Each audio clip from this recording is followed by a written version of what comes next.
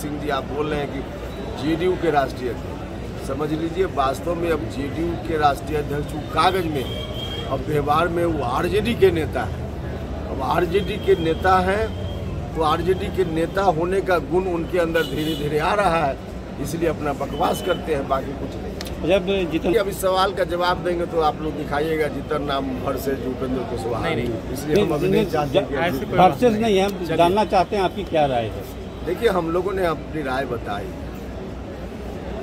शराबबंदी बहुत आवश्यक चीज़ है शराबबंदी होनी चाहिए। लेकिन जिस तरह से बिहार की सरकार ने कानून बनाकर कहा कि शराबबंदी तो सिर्फ़ सिर्फ़ कानून बनाने से यह काम संभव नहीं है। कानून का इस्तेमाल आज सरकारी अधिकारी, चाहे पुलिस के हों या एक्साइज डिपार्टमेंट के अधिकारी, ये लोग अपनी जेब भरने में इस कानून का इस्तेमाल कर रहे हैं।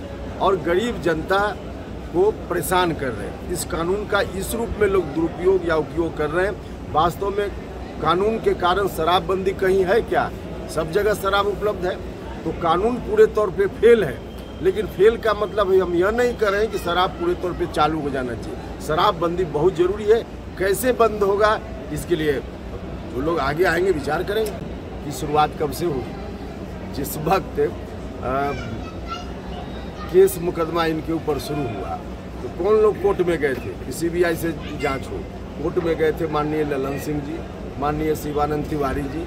यही लोग गए थे जो लोग आज आरजेडी के आगे पीछे घूम रहे हैं। यही लोग गए थे कोर्ट में ना। तो इन्हीं लोगों के कारण बात यहाँ तक पहुँची है। तो आज अगर कह रहे हैं तो नीतीश जी सीधे तौर पर बोल दें, कि चारा घोटाला नहीं किया है लालू जी ने। सीधे कह दें, अगर लग रहा है इनको कि सर केंद्रीय एजेंसी इनको परेशान कर रही है तो सीधे कह दें नीतीश जी कि चारा घोटाला नहीं किया है लालू जी ने और जो कुछ भी हम इतने दिन तक कहते रहे हमने गलत किया बोल दे नीतीश जी।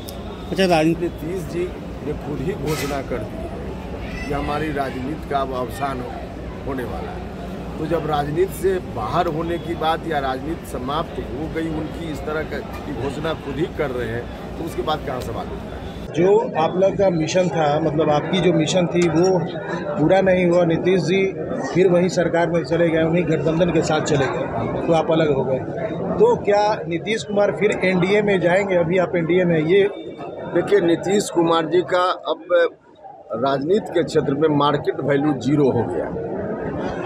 अब ज़ीरो वैल्यू हो गया तो फिर कहीं रहे उससे कोई फ़र्क नहीं पड़ता। है अब वैसी स्थिति में क्यों एनडीए के साथ नीतीश कुमार जी आए? सवाल ही पैदा नहीं होता। अच्छा जो आगामी बैठक होने वाला है जो इंडिया अलायंस का तो उस अलायंस का बैठक में जैसे बताया जा रहा है कि संयोजक को लेकर मारा पीटी हो रही है या कुछ बातें आ रही है या लीडरशिप कौन होगा? इसी से समझ लीजिए ना कल्पना लोग कर रहे हैं मंदिर बनाने की। और बतासा के लिए पहले ही झगड़ा शुरू है। ये गठबंधन क्या चलना है? अब संयोजक कौन बने, न बने, इसके लिए अभी से मारा मारी शुरू और जब पूरे गठबंधन का लीडर कौन हो, भावी प्रधानमंत्री के रूप में किसके नाम की घोषणा की जाए, यह सवाल जब आएगा, तब क्या स्थिति इन लोगों की होगी? कुल मिला जुला कर इन लोगों का जो एक्सरसाइज है, उसका कोई अर्थ नहीं। सब लोग जो भी इसमें हैं, अधिकांश लोग अपने अपने राज्यों में, खास करके लोकसभा चुनाव में उनकी क्या दुर्गति होने वाली है, सब लोगों को मालूम है। तो इसलिए एक अपने पक्ष में माहौल बनाना चाहते हैं, बाकी और कुछ भी नहीं होना है। आज की तारीख में 2024 लोकसभा चुनाव के लिए तय है, भारत का प्रधानमंत्री वही बनेगा, जो आज भारत के प्रधानमंत्री की कुर्सी पर बैठा हुआ है। नरेंद्र मोदी जी के सामने कोई चुनौती नहीं है। अगला चुनाव जो 24 में होगा उसमें नरेंद्र मोदी जी प्रधानमंत्री भारत के बनेंगे यह तय है। बाकी इन लोगों के एक्सरसाइज का कोई अर्थ ही नहीं। इसका असर बिहार में क्या होगा? अगर 2000 जिस तरह से अभी जो विपक्षियों का अलायंस है या फिर एनडीए के अलायंस है तो बिहार में 40 सीटों पर क्या होगा? देखिए- जातीय जनगणना का लाभ किसे मिलेगा? जातीय जनगणना में तो सब पार्टी के लोगों ने साथ दिया है। ना इसमें कोई एक पार्टी का सवाल ही नहीं है। जब आपको याद होगा कि जब प्रधानमंत्री जी से डेलीगेशन मिलने गया था उसमें सभी दल के लोग शामिल थे। तब नीतीश जी तो एनडीए में थे। बिहार विधानसभा से विधानमंडल दल से जो प्रस्ताव पारित करके भेजा गया दिल्ली उसमें सभी दल के लोगों ने सर्वसम्मत से किया था। तो इसमें कोई एक दल की बात नहीं है सब लोगों ने किया है या जनता का मामला है।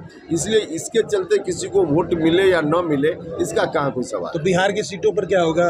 चाहे दो हज़ार चौबीस चुनाव में। कह तो रहे बिहार में 24 के चुनाव में 40 में 40 में से एक आध अपवाद शायद कहीं इधर उधर हो जाए, वरना सभी जगह एनडीए के उम्मीदवारों की जीत होगी।